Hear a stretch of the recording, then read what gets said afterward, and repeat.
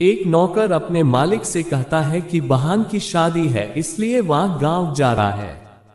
Tab मालिक बोलता है कि शादी में कुछ भी ज़रूरत हो तो मुझे फ़ोन कर देना।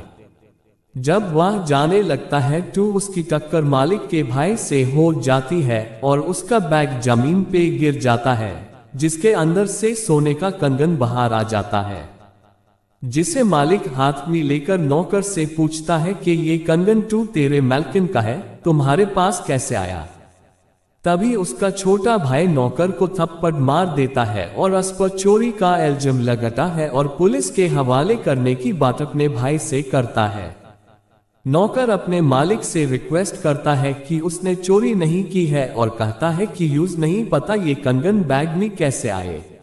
तभी मैल्कन आ जाती है। मालिक मैल्कन से कंगन के बारे में पूछता है।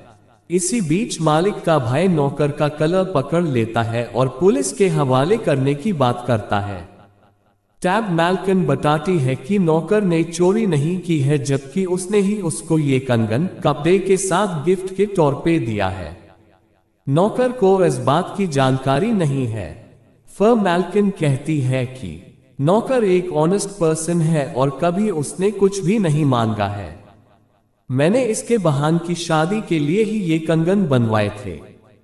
पूरी जानकारी होने पे मालिक को पछतावा होता है और मैल्कन अपने देवर को फटकार लगाती है और नौकर से माफ़ी मंगन के लिए कहती है। कहानी अच्छी लगी हो टू चैनल को लाइक और सब्सक्राइब करें प्लीज़।